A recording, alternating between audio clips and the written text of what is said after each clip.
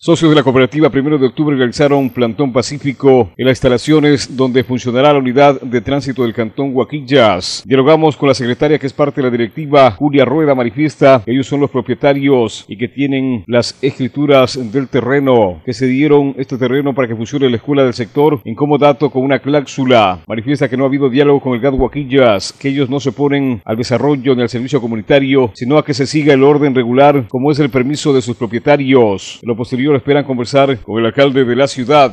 Nos hemos reunido los moradores de la cooperativa Primero de Octubre para defender el terreno que nos pertenece, ya que es una propiedad privada. ¿Usted tiene escritura de ese terreno? Por supuesto, todo legal, tenemos las escrituras. ¿Cómo ustedes dieron este terreno en comodato? ¿Cómo se realizó el traspaso a la escuela que funcionaba anteriormente al Ministerio de Educación? Sí, eh, la verdad es que nosotros cedimos al, al Ministerio de Educación para que se cree la escuela, pero dimos con una cláusula, si la escuela no avanzaba, pues eso se iba a revertir a la cooperativa. Sí, eso es lo que, eso es lo que quieren implementar en este lugar, pero la verdad es que no nos han comunicado, sino han venido y se han puesto a hacer algunos arreglos para usarlo como unidad de tránsito. Bueno, frente a este pedido que ustedes hacen, hemos dialogado fuera de cámaras, manifestaban que ustedes no están en contra del servicio social que puede dar la unidad de tránsito, sino que se haga el orden regular, es decir, que se siga un proceso regular, es decir, con la cooperativa y el municipio que pueda pedir el municipio, a ustedes eh, como comodato, ¿cómo pueden hacer así?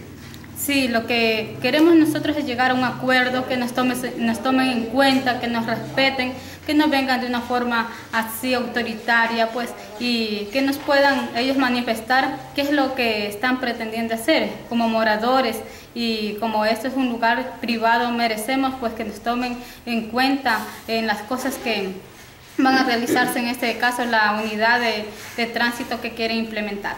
¿No están ustedes en contra de esto? No, para nada, solo queremos que se lleve por el conducto regular.